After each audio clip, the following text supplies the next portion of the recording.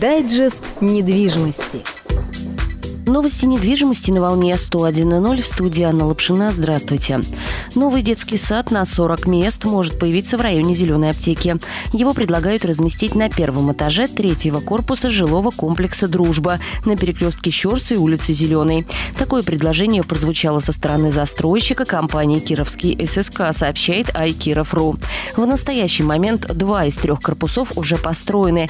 Документация на третий, односекционный каркасно-панельный жилой дом, проходит процедуру публичных слушаний.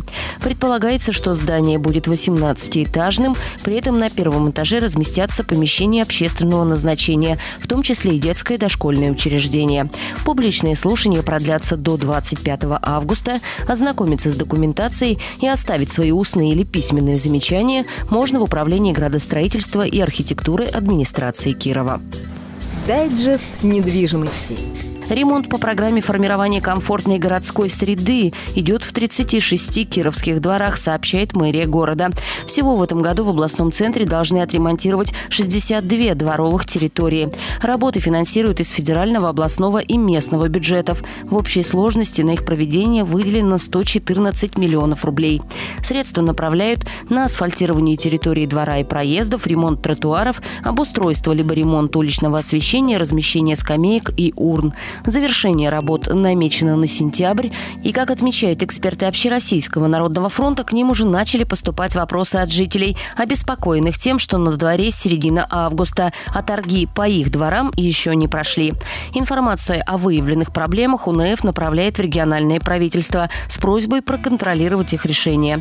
Напомню, программа формирования комфортной городской среды рассчитана на 5 лет, до 2022 года. Ранее городские власти неоднократно подчеркивали, подчеркивали, что городу важно уложиться в сроки проекта и использовать все выделенные средства. Дайджест недвижимости. Новая программа помощи ипотечным заемщикам начнет действовать 22 августа. Как сообщает агентство по ипотечному жилищному кредитованию, подать заявки смогут граждане, взявшие кредит как в рублях, так и в иностранной валюте. Правда, есть несколько условий, серьезно ограничивающих круг участников. Одно из них – увеличение платежа по кредиту не менее чем на 30%. Исходя из этого, эксперты сомневаются, что программа будет востребована теми, кто брал кредиты в рублях.